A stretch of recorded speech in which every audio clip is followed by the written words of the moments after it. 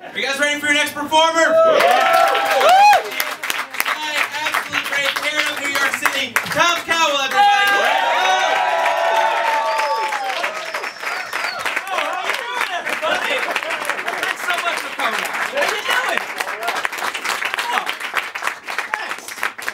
Uh, I live here in New York. Uh, sometimes I'm on TV for like two lines.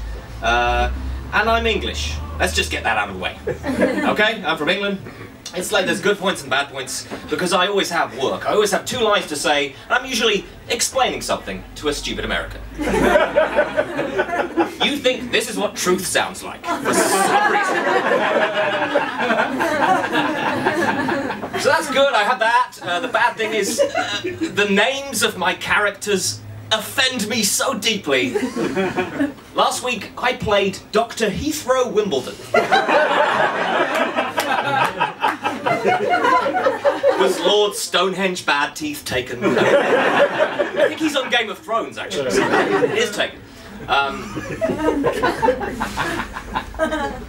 I'm a. It's. I deserve it. I deserve it because I'm. I'm a terrible immigrant. I'm just the worst kind. I have it so easy. So easy, us English people. It's ridiculous. Like your cab driver, he came here in a barrel. I, I just got on a plane. That's all I did. Like he can he can talk to his grandchildren about the struggle. I mean, I can't tell my grandkids uh, how bad it was in Coach. How many how many movies were there, Grandpapa? Less than 50.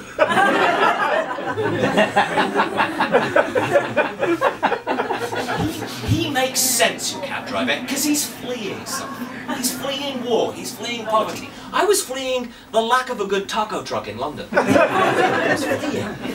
It makes sense. Uh, I'm only here because I'm married to an American. Uh, I'm married, been married. I've been with the same woman for 10 years. And you have to clap.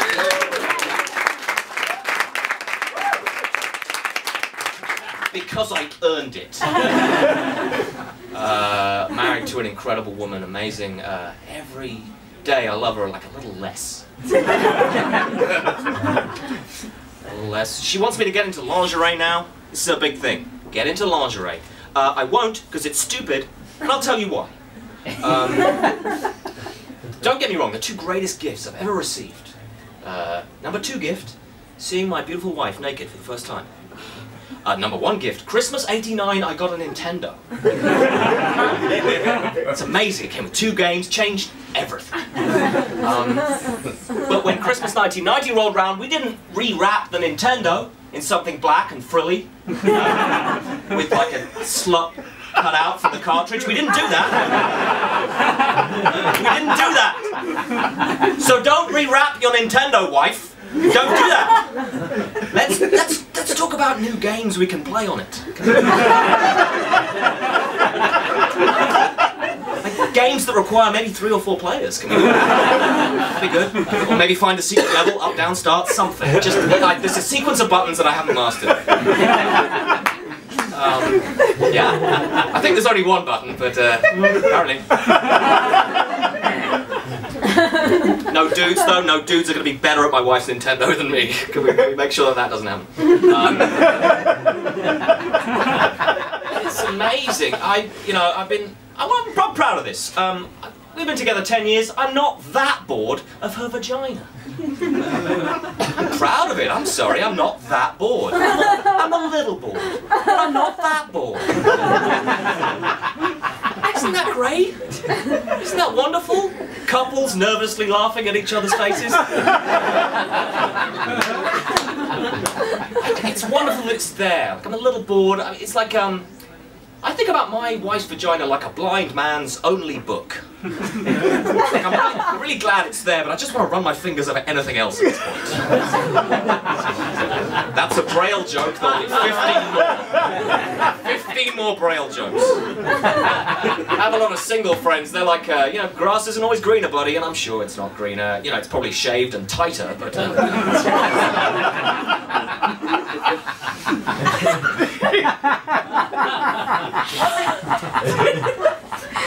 I hope you interpret these set of jokes as what they are, which is the most like honest, passionate request for anal her.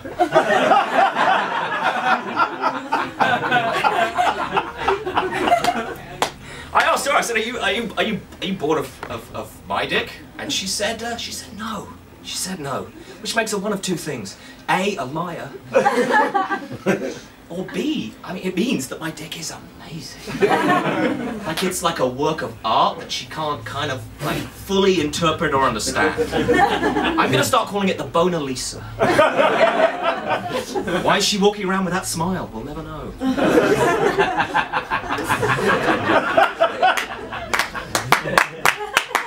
this is a literate crowd. Oh goodness. Uh, I'm, you know, that was the, the you know, that maybe. I want to tell you the truth about something. Uh, my dick is hideous. it is. It's, it's completely disgusting, huh? And I'll, I'll tell you why. Uh, this is absolutely true. Absolutely true. Uh, I was circumcised age seven. Let's let that for a second. Yeah. When I tell people that, they ask me one or two things. They say, "Did you convert to Judaism?" Age seven. Who wants to be in show business that badly? Dad, I want you to mutilate this and give me tap lessons. No one says that. Uh, they also say, uh, "Did it hurt?"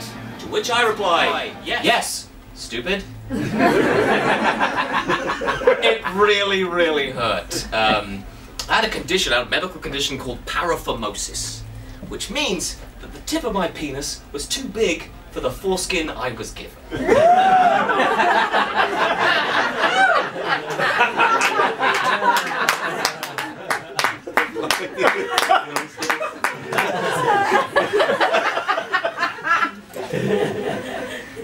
I'm not gonna lie, on a bad day I do think about that. My penis was kind of undeniable. Broke free in a rage. I have an incredible Hulk dick.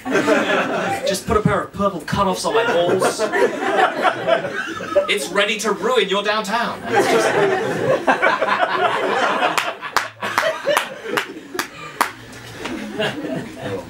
But the problem is, um, that was great, and then um, my parents took me to a surgeon who I'm pretty sure was actually a plumber, because he just did the worst job you've ever seen on this thing. It's covered in scar tissue and bumps, and there were stitches left in. It was a nightmare. I was a young kid. I had to, you know, when you know, teenager, I had to tell people like, "What's wrong with you? Like, you do you have a disease?" Like, no, this is just what happens when you get circumcised at 4:30 on a Friday. he wanted to get out. He was done. so I'm left with this mess. I, it's like a hor- It's like it's powerful. But it's ugly. You know, like picture a wrestler's finger, and you're not too far off. It's like, covered in bumps and ridges. It kind of looks like a house painter's radio.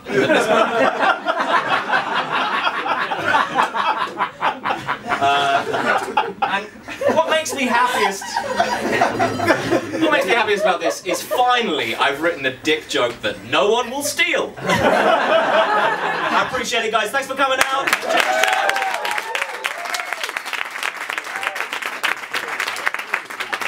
Man, top row, everybody. Holy shit.